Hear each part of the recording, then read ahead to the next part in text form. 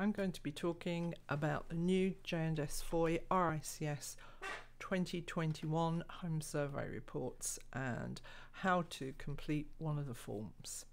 So on screen you should see that we've got a Home Survey tab and I'm going to get a Level 2 Survey and Valuation on screen. First thing you have to do is complete your survey details. So I'm just going to type those in quickly.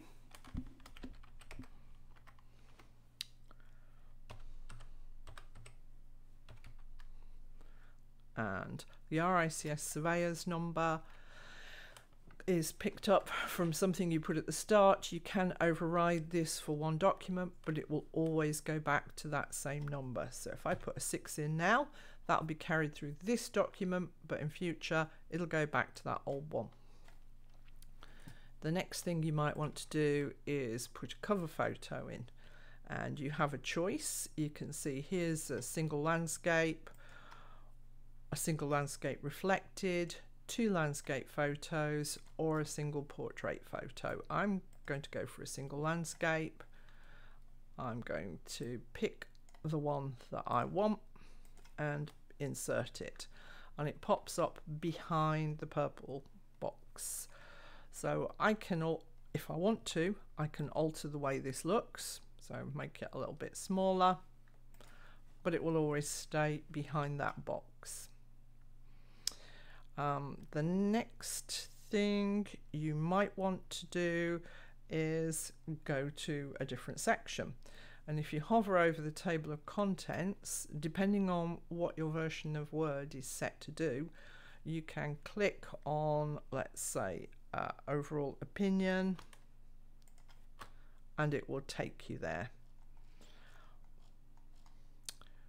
You can see here in section C, uh, in main services, there are boxes for you to complete either you can put an X in them or you can type TK and hit F3 and it will give you a tick.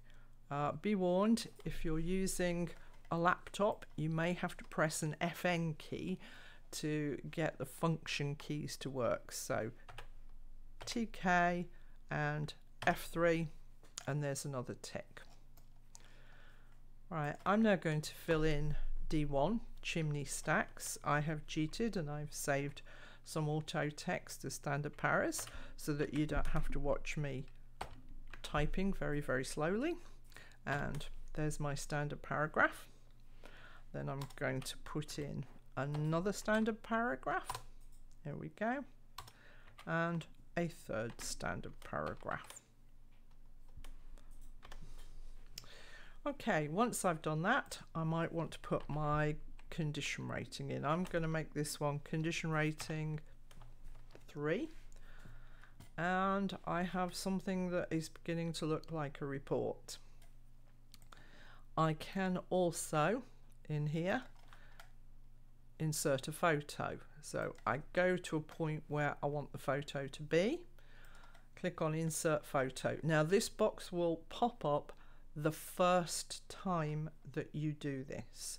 And you can choose your standard width so I'm going to choose 10 centimeters.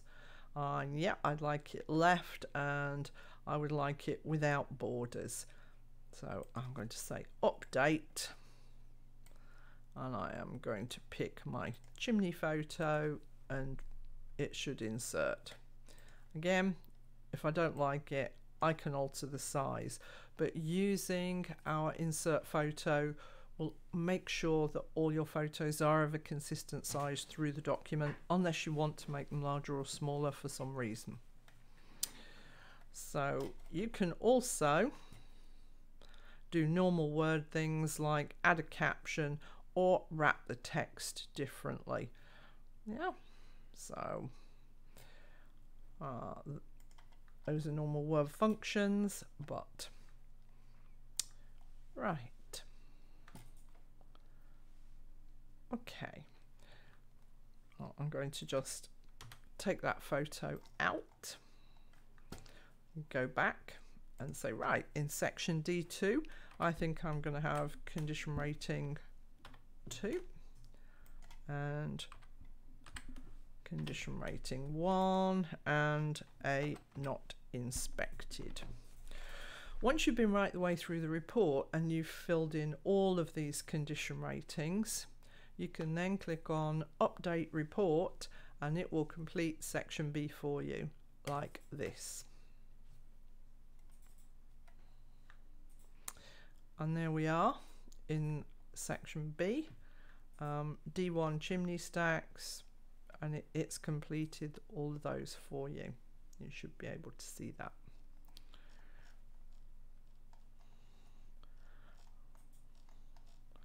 Right, I'm now going to go back to here.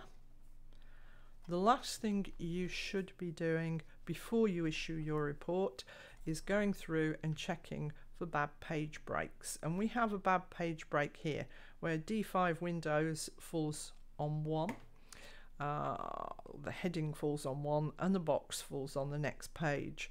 In the case of this happening, go immediately before D5, for example, and then add a page break and it will just shift it onto the next page.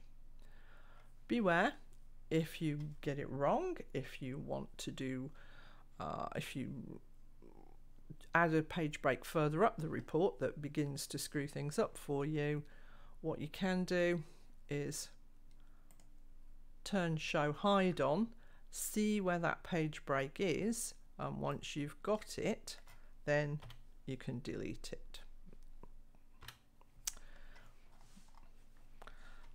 Last but not least, file compression. The more photographs that you put into your report, obviously the larger file size you're going to have. Different versions of Word will compress your photos, but they'll do it in different ways and in different amounts. So either you can ask Word to compress your whole document, or you can compress it at the stage that you PDF it. Uh, again, Word as PDF can have different file sizes depending on which version of Word it is. Basically, the later the version, the better it does it. Uh, you can also use third-party software such as PDF Redirect, and that will allow you to pick between different file sizes. So you can either have a small file size and not terribly good quality pictures, or a large file size with much better quality pictures. Well, I think I've covered pretty much everything. Uh, so thank you for listening. I'm going to stop there.